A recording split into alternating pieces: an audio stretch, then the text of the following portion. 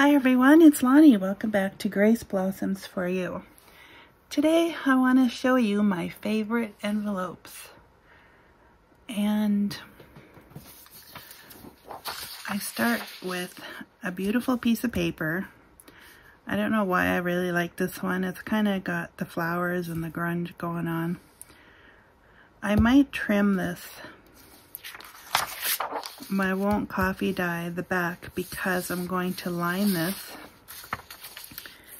And I found this um, music paper, music sheets.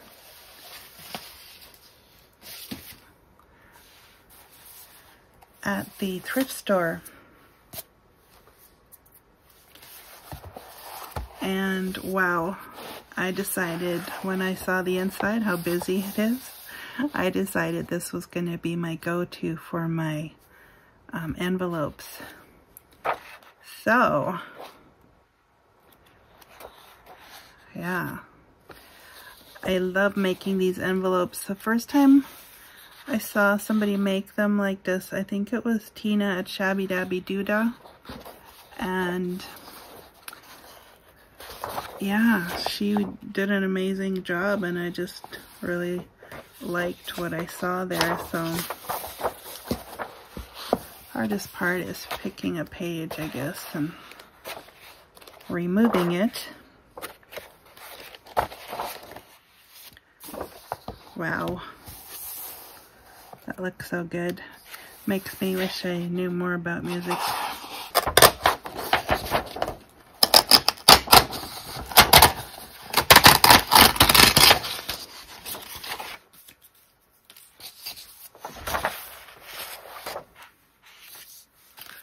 And that was Hayden.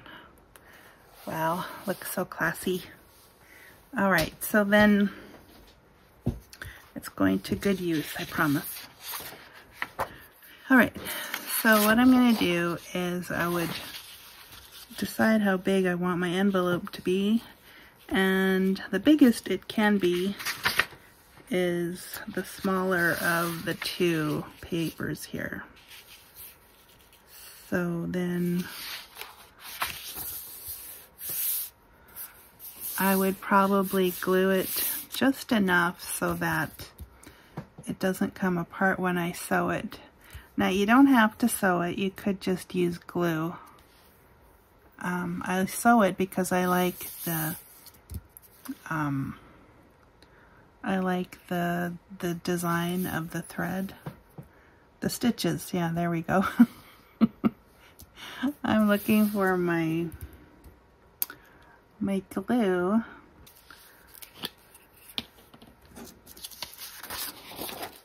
So yeah, I sew mine, but I'm going to show you how to do this without.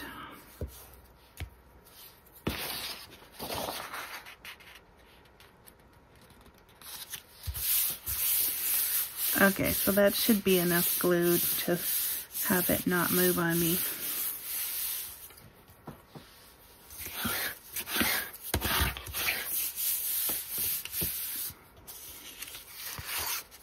So then I have to decide if I want to cut away the borders. And I probably will. I'll do that and then I'll be right back.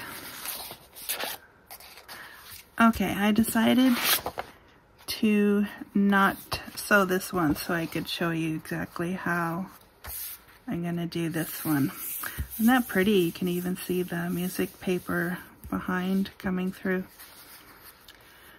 So because I'm going to glue it now, I'm going to ink it.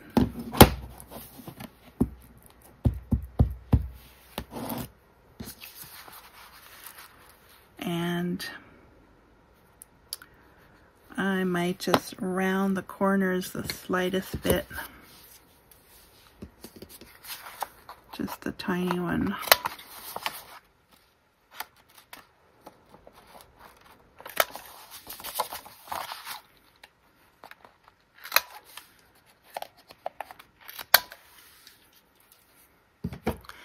And then after I'll show you some of the ones I've sewn. Okay, so you have to decide which is up, which is down. Um, I tend to go with like the music paper, what it says. If, I mean the flowers, uh, the, the pretty paper I pick is usually non-directional, so then I go by the one on the inside. Now you can do either way. You can have either one outside and then the other one will be lining it. So um, I think I'm going to do this way for this one. And I just put it up, leaving a generous flap amount there. So I will fold it roughly there. And then this will come down. And I want to leave some room there for putting things into the envelope.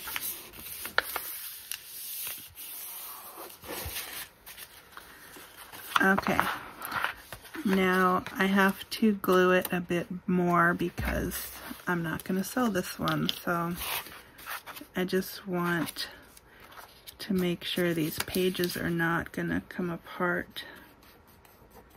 So I'm just to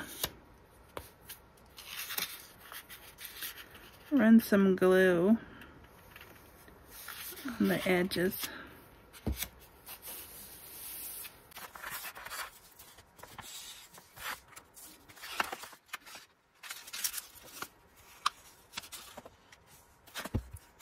Try not to get it on the table.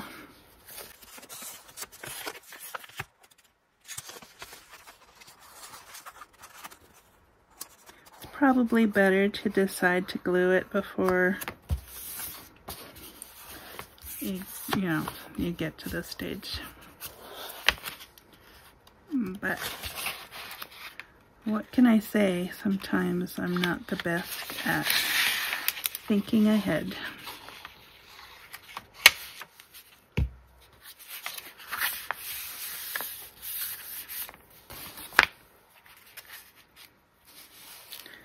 Okay, almost done.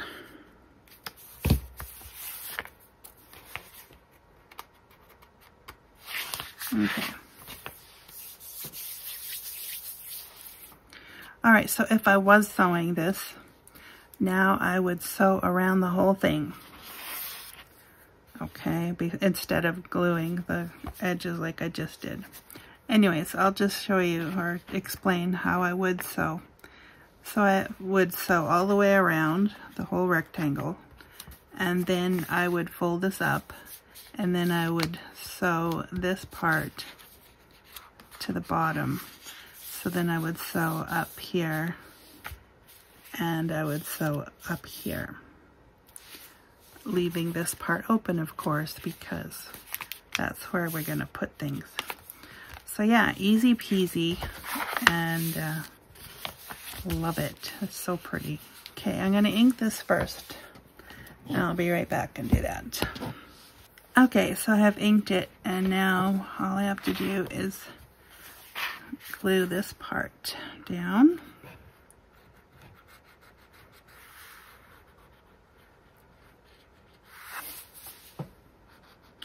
So how are you doing today? What is on your craft table? I have too much to talk about. Alright, so then put the edges together. Now, if you wanted the look of sewing without actually sewing, I think you know how to do that by now. You could stamp it on, you could draw it on. Um, I don't usually worry about a closure for this. I mean, I, I could tie it but I usually attach it to my journal with a paper clip. That, or I will put it in the package that has the journal in it because this is a very sturdy envelope when it's done and so it will hold a lot of things. So if I want to include any extras in with the journal, like Happy Mail, then I will do that. Speaking of Happy Mail, if you don't mind posting the, uh, or paying the extra postage, you put a label on here and this would probably make a really nice um, envelope for Happy Mail too. But yeah, that's what I do with mine, so I'm really happy that I got to see those. Excuse me. Um, since I did just glue this, I'm thinking I might want to have the faux stitching going on here. So I will, let's see, don't really want to do zigzag. I grab my ruler.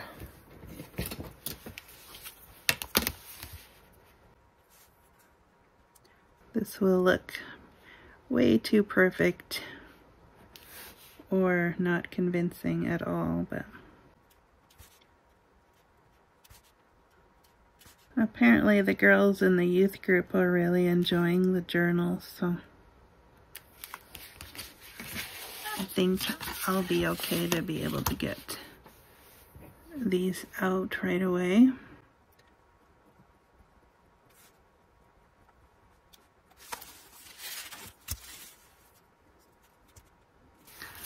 Okay, I don't think, yeah, I didn't do there. Down the side.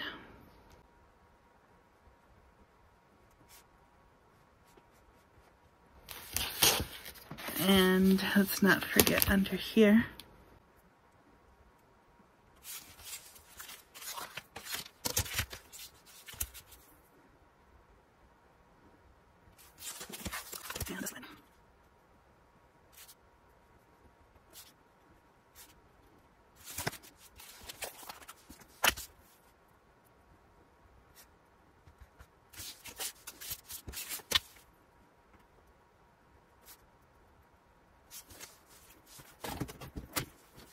Okay.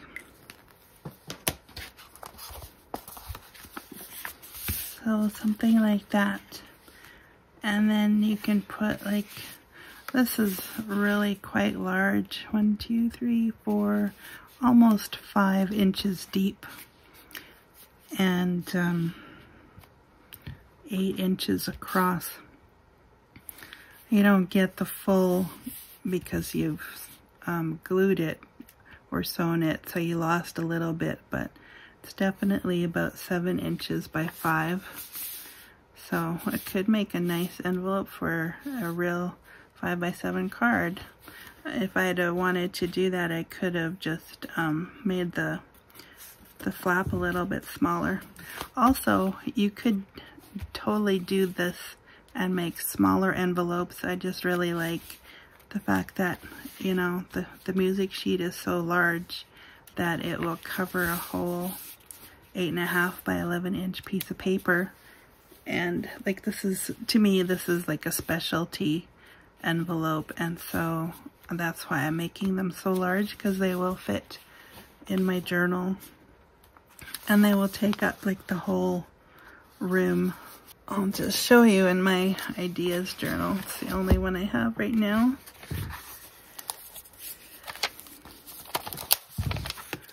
Pretty sure I put one in here already. My ideas journal is getting kind of full.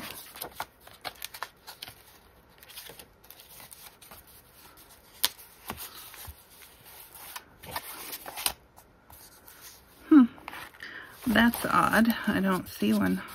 So much other stuff. I don't think I've kept up with my ideas journal. Oops.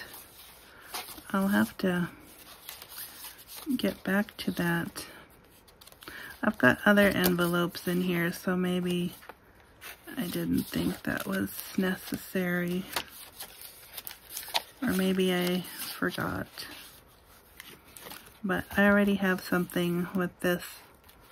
So what I'll do is I'll take one that I sewed. This one is music paper and I backed it or lined it with packing paper. So there you can see that it's sewn. It's not inked yet, but I can put that in here. Like so, and then I'll remember that I've made some. So yeah, that's my ideas journal. All right, what else? I did this one. I put the music paper on the inside for this one. And then I sewed it. Also not inked yet.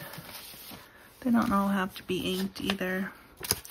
And this one I also lined with the paper, the pretty paper on the inside.